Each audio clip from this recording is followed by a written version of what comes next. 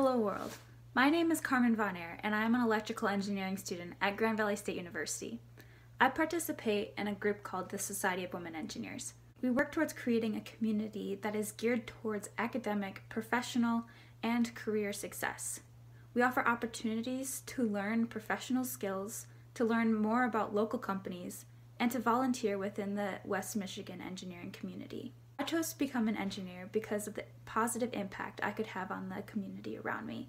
Today I'm going to share a little bit of my electrical engineering experience by giving you a short tour of my electrical tackle box.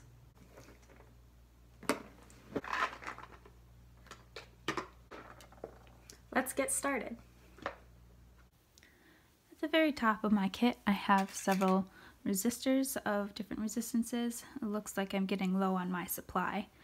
Resistors have many functions, one of which is to reduce current flow. Often, resistors are used to protect circuits from drastic current changes that could harm other more complex and expensive components of a circuit. A resistor is specified by its resistance. The combinations of colored bands on the resistors indicate the value of resistance. I also have lots of LEDs and sets of transistors.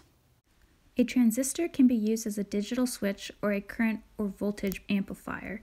These components control the flow within a circuit and compose the logic behind most technology we use today. The iPhone 11 Pro has more than 8 billion transistors. I also keep a Sharpie and a ruler just in case I need to measure or mark anything. Very handy. On the next couple levels, I have a lot of jumper wires, that are used for prototyping circuits on breadboards.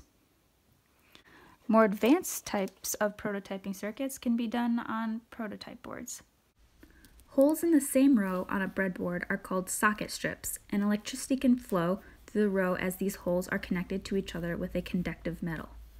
The vertical rails on the breadboard, called bus strips, are also connected by a conductive metal. They supply power and a ground to the circuit. On the green protoboard, everything must be soldered to make proper circuit connections.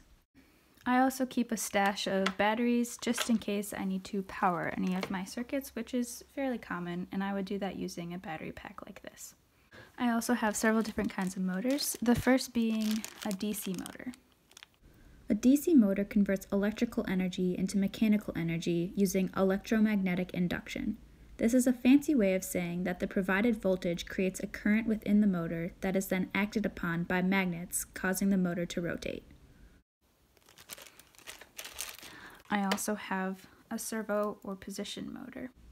Servo motors are energy efficient and are often used in remote controlled cars, robots, and airplanes. Servos allow for more mechanical precision. The position of a servo motor is controlled by electrical pulses. The greater the width of the pulse, the greater the angle of rotation.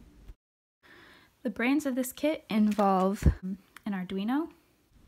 An Arduino board includes a microcontroller that is programmed using Arduino programming language.